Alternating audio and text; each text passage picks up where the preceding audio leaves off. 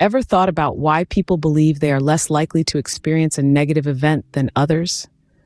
This is what we call the optimism bias, a mental model that illustrates our inclination to anticipate more positive outcomes in our lives than negative ones.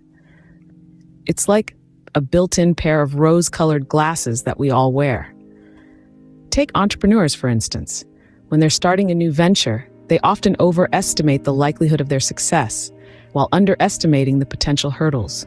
They may envision their business soaring high above the competition without giving enough thought to the potential pitfalls. This optimism bias can result in insufficient preparation for setbacks and overly aggressive expansion plans. It's a double edged sword, really. On one hand, optimism can fuel motivation and resilience, acting as a powerful catalyst for action. But on the other hand, the optimism bias can blur our realistic appraisal and planning. Healthy optimism is about options and optimizing, not wishful thinking. But what happens when optimism bias influences our decisions and actions? Well, it's like setting sail without checking the weather forecast. You might be envisioning clear skies and calm seas, but reality could be brewing a storm. Optimism bias can create a misleading sense of security, luring us into believing that we're insulated from adversity. This can lead to insufficient financial safety nets, as we underestimate the resources needed to weather potential storms.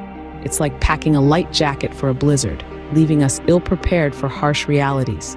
Moreover, optimism bias can cause us to downplay risks, leading us to dive headfirst into ventures without fully considering potential obstacles. It's as if we're attempting to cross a river blindfolded, unaware of the jagged rocks lurking beneath the surface.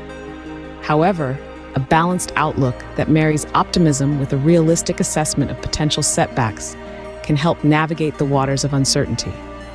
As we see, optimism bias can both propel us forward and potentially set us back by skewing our perception of risk and opportunity.